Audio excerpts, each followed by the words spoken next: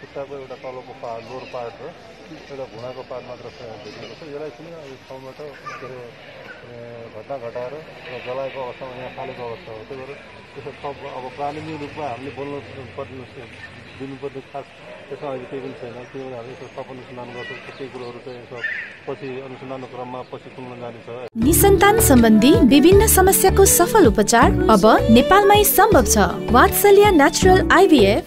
र अहिलेको हकमा चाहिँ अब यो यो चाहिँ कुनै ठाउँबाट जलाएर ल्याएको अवस्था चाहिँ देखिन देखिन्छ। प्रारम्भिक प्रा- प्रारम्भिक अनुसन्धानको क्रममा हेर्ने हो भने।